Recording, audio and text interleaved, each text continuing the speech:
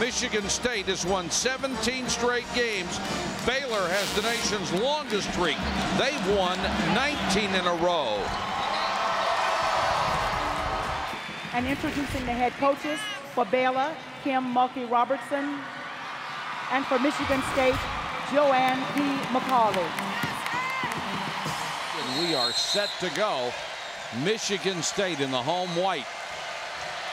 Really look for a defensive matchup. Michigan State loves to go in that 1-2-2 matchup zone. And a weak pass by Haynie, but they will make a lot of passes in their offense. Niemann loves that spot, knocks down the three. Emily Niemann, second in the Big 12 in three-point shooting, almost 46%. The six-foot junior Young left wide open, missed the jumper. Niemann kept it alive, and Scott gets the follow. That's where Kelly, Kim Mulkey Robertson has talked about this team being balanced. Especially in the semifinals. Baylor's doing a great job getting inside the lane. Michigan State really struggling. Shot clock's at five. Haynie, Haynie trying to penetrate. Missed the shot, fighting for her own rebound. That ball never touched the rim, and it's a shot clock violation against Michigan State. Their players open. Bowen, they're, they're getting high post passes, but it's all one-on-one -on -one right now. Good dribble drive right there, Mike, but again, they're not setting the screens, which is a part of their offense. Let's see what Michigan State has. Bowen with a jumper. No offensive rebounds at all. Whitaker running. They don't have the numbers. Kicks it back to Niemann.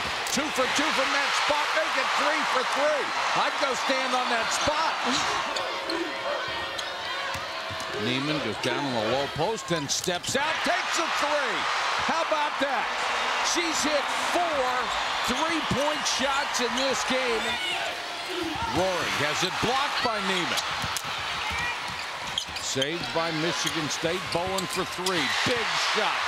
Kim Mulkey Robertson really stressed that in practice today that if the offensive player for Michigan State drives in the lane, and if there's help already there, you don't have to go all the way. Whitaker didn't. She stepped in, got a hand on it. You got to come back and recover. Bowen, same spot, same result. And again, short on this, maybe a step beyond her range. Haynie, great penetration.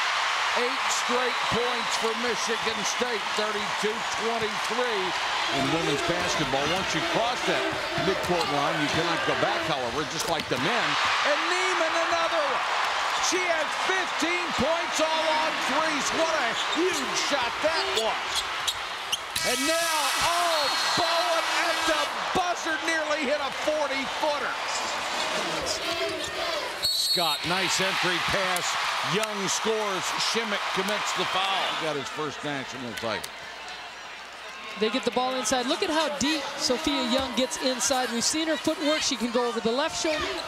Good defense again by Haynie. Knocked away. Bowen gets it. Haynie on the run out. She'll score. And she's fouled by Whitaker. Joanne P. McCallie trying to find somebody to make a difference in there. 47-37. Wyatt with a runner, no. Niemann with her first basket inside the three-point line. Emily Niemann is just so savvy as she goes to the wide open spot. The lead now 23. Haynie, 40% outside shooter, looking for a screen. And Shimek, NCAASports.com, the official online home for all 88 NCAA championships. Nice stack right here. Mulkey Robertson knows the inbounds play is pretty special, and mom, Annie Christopher, is loving this for her daughter. Kim Mulkey Roberts' team all throughout the season. And then Michigan State beat Stanford, who had been the number one team. So a great matchup coming in, but Baylor set the tone. Right now, Young can't miss. She has 24 as we hit two minutes. And now the Baylor fans, a standing ovation as Wyatt comes out and Blackmon comes out. They're coming to their feet in Indianapolis. The start of the year, it would have been most improbable to believe either one of these teams would have even been in the national championship picture. And now you see Baylor as the 2005 NCAA champion. Annie, that's quite a finish for the Lady Bears. It really was. Kim Mulkey Robertson, I saw her play as a player at Louisiana Tech. She was the general. She made things run. I've seen her on the practice court. I've seen her on the game court. She's still the general. But what she got out of her kids today, what she demanded, they came through for her.